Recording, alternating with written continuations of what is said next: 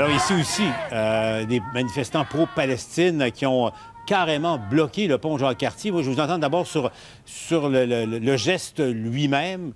Euh, ça a évidemment eu d'énormes conséquences sur euh, la circulation, donc sur des gens qui voulaient venir au travail la plupart du temps. Luc, d'abord? Ben, ils se font pas des amis, hein. Je veux dire, ils ont parfaitement le droit de manifester.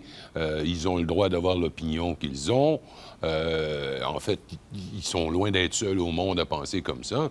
Mais venir arrêter la circulation au point, à- je dirais, un des points les plus névralgiques de la circulation euh, dans l'environnement de Montréal, je sais pas qu'est-ce qu'ils pensent qu'ils vont gagner avec ça, mais pas des amis. Que- Quel devrait être, le, gré- de- de- Marc-André, le degré de tolérance des, euh, des autorités? Zéro. Zéro. Non, tu peux pas avoir de tolérance pour ça. Tu peux pas... De... Droit de manifester, 100% pas de problème. Mais quand il arrive là-dedans pour veut bloquer une artère principale comme le pont Jacques-Cartier, ça, tu peux pas avoir de tolérance, là. Mais je pense que ça a duré quoi? Peut-être deux heures environ, Paul? Ouais. C'est déjà beaucoup, là. C'est déjà beaucoup, là. C'est Ouais. énorme, là, pour les gens qui, qui, travaillent, les qui veulent aller les répercussions. travailler. Il faut comprendre les répercussions, là, Soyez... vraiment. Je, je comprends que quand on veut qu'on manifeste, on veut faire un coup d'éclat, on veut que les gens parlent de nous. Bon, bon, on en parle ce soir à la joute, mais soyez plus créatifs, trouvez d'autres moyens. C'est pas comme ça qu'ils vont aider leur cause. Ils vont se faire des amis. Oui, parce qu'il y a une entente tacite depuis plusieurs années là, à Montréal qu'on bloque pas le pont. Ben oui. Donc, on va ailleurs, on peut aller sur René Lévesque, il y a d'autres artères importantes qui, qui- où on, on se fait entendre et voir. Mais effectivement, je pense que c'est préférable d'éviter ça, qui a un impact vraiment important sur trop de personnes.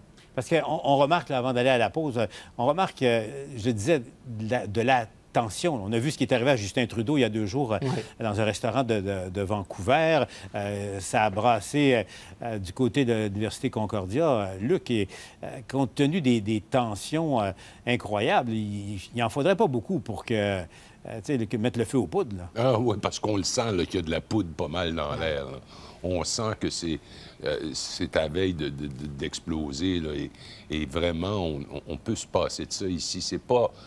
et c'est facile de le dire, mais je vais le dire, là. C'est pas notre guerre. Maintenant, une fois que j'ai dit ça, il faut aussi que j'ajoute toutes les guerres sont les nôtres, tu comprends? Euh, ce sont des humains qui sont, qui, sont, qui sont victimes. Ce sont des enfants, ce sont des femmes, ce sont... Alors, des, grands-parents. Alors, il- y a une tension tellement énorme à l'heure actuelle. En fait, je pense, Paul, qu'il n'y a pas eu de telle tension dans le monde depuis la crise de Cuba au début des années 60. Euh, tu as l'Ukraine, évidemment, dont on parle plus, mais qui est encore en guerre, pas à peu Ouais. près. Ça s'ajoute, là, ce qui se T'as passe en ça, Israël. là. Ouais. Puis t'as d'autres endroits où ça commence à brasser. là. Au Liban, ça brasse pas mal. Euh, ça- Syrie, ça brasse pas mal. Soudan à côté. Tout ça Ouais. risque de faire un brasier qui va exploser. là.